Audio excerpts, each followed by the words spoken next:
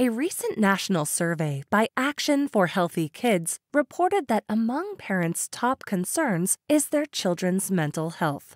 However, less than 20% of parents indicated awareness of all the mental health resources and services schools provide to support children's mental health and well being.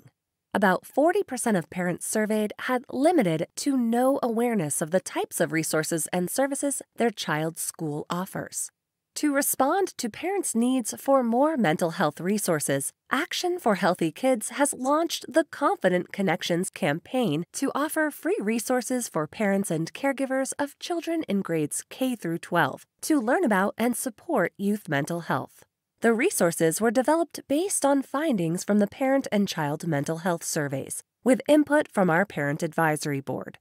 With conversation prompts, family games, videos, and more, Confident Connections resources provide guidance to parents to engage in meaningful conversations with their children, activities to connect in authentic ways, and information to deepen parents' understanding of youth mental health.